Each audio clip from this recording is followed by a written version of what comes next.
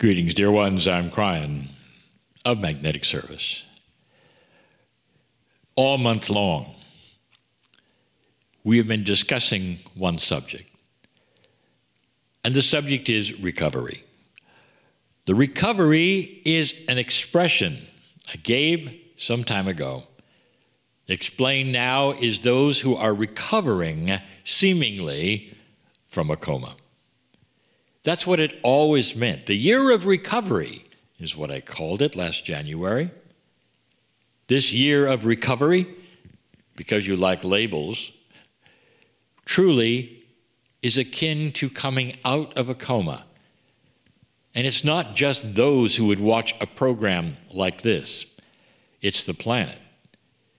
Slowly and differently, Many are starting to realize there are things around them that are different. They're feeling different. You might say they are seeing more of what has always been there. And they're also feeling they are now empowered to change it. And that's the big difference. The big difference for all of these things with humanity is the ability to feel that you can change it. Now, that also requires that you feel individually you might have a little more self worth. All of this adds up to a higher consciousness being delivered to humans. Now, this higher consciousness has always been there. It's just a matter of did you see it? Did you see it and then you took it? You put it upon yourself. You awaken to a light that's shone upon it. Those are all metaphors. But that's the reality. A linear human being wants to believe that it was never there before, and that you awaken, a light shines on it, an angel put it there, and you take it. And so there are layers of things that have occurred on the earth, you think, and you then wake up and take the things that were left for you. That's not the way it is. What if I told you that the hum- human being and society in general, and there were cultures of higher awareness of spiritual consciousness way in the beginning, and that humanity actually devolved to what you see today? In other words, they became of lower consciousness with free choice. There was no conspiracy that did it. You did it all by yourselves. And your Akash proves it. A human race that invests in war over and over. That's what you do. Before you did that, you didn't. So something took place. So, what I'm telling you is this higher consciousness, the idea of it, the existence of it, the awakening to it, has always been here. So, what is happening right now is you're awakening to the past. You're awakening to something that was always there, waiting to revive itself, to reemerge. And the beauty of that is this listen carefully. It's not a mystery. So many of the old souls that I am looking at right now and talking to, I will give you this information.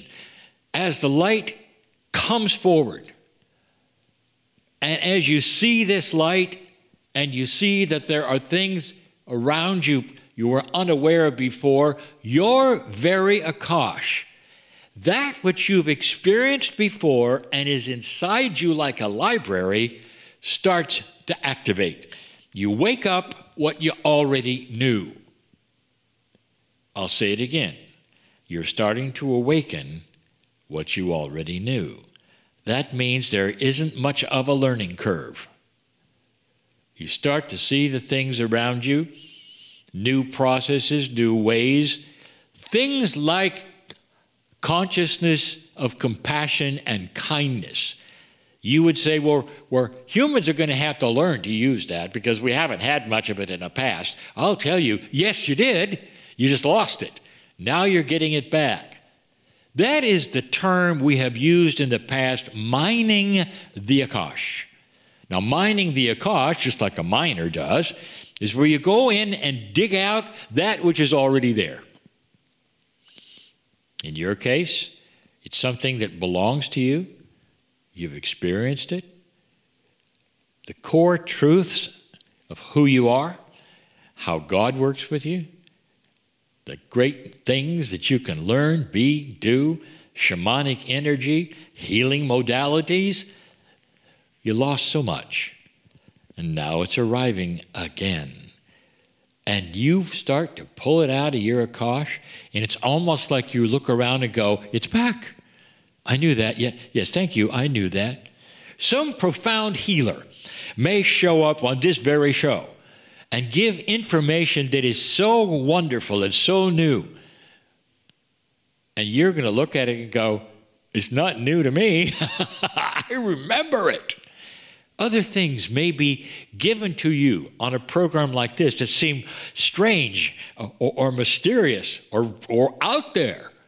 But there are some of you who will recognize, yeah, but it's real. Because I've been there, I know it. This is the awakening. It's more than you think. How have you applied this to your life? How do you see what I'm saying to you for you? But most important, what does it mean from now on? Now, here's where the lesson is today, tonight, even in the circle of 12. There's an expression that I have heard humans use called the undiscovered country. The expression is the future. Is it possible to actually discover the future if it has not happened yet? Oh, now we get esoteric. Psychologists love this, and so do physicists. It begs many questions about dimensionality. Some will say, is it possible that our futures already exist? And that as we move forward, they shift around and we select one or two or another? That's very linear. What if I told you this? Everything is happening together. Now, you've heard that before. What if time is a construct for you? You cannot get your head around that. It's not possible, truly, for a human to think the following past, present, future, all in one bag, and you're, you're sitting in the bag. Now, if that is true, and how could it be if humans have free choice? I will tell you that a, a part of it that you can understand is true. What you do today in this moment, in this minute of your life, can do two things.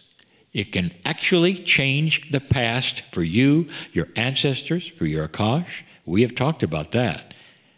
And number two, you can posture the future. Now, you can understand that.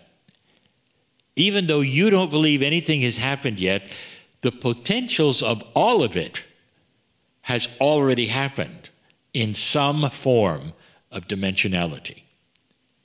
It's why we can face off with you and say things that are going to happen because the potentials are set like a snowball rolling down the hill. When it starts rolling, due to the gravity and the laws of physics, you know what's going to happen. It's going to collect more snow, get bigger, and continue rolling. Now, is that somebody predicting the future? You want to say, stop the program, you can't predict what the snowball's going to do? You don't. You say, no, it's going to roll down the hill, even though it's going to happen in the future. It's the same thing I'm telling you. We can see the snowball of consciousness rolling down the hill. And what it hits is the darkness. And it dispenses and dispels it. It changes humanity. It changes what you're going to do next. It changes what countries are going to do next. It changes the future out of war. It changes it so greatly that I'm telling you yet again this is not going to be history repeating itself. This is not your grandfather's planet, it's your planet. The snowball starts to roll down that hill, and the future, I can tell you, just like the snowball, I can tell you it's going to continue rolling in the same direction. And the direction is light. I want you to just stop for a moment. You might even put out your hand and say, Thank you, Spirit, for what is coming that I don't know about, that I can't conceive, no matter what I'm seeing on television. Thank you, Spirit, for things in the future, solutions that I cannot see, because that's where the snowball is going. Is that telling the future, or is it common sense?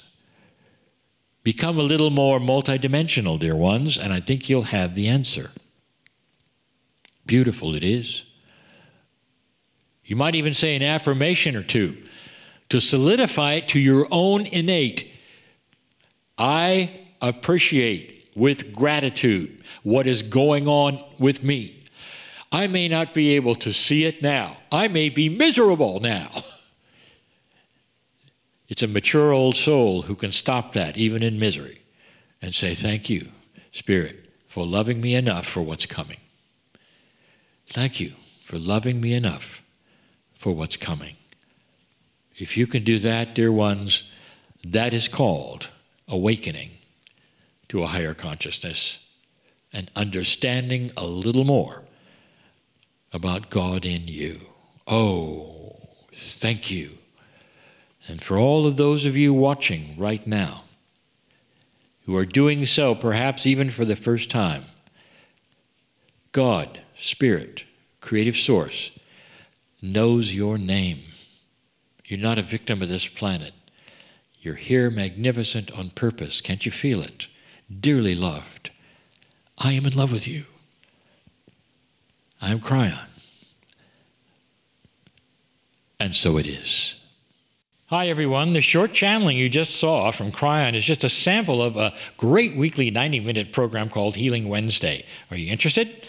I invite you to find out more at kryonmasters.com slash HW.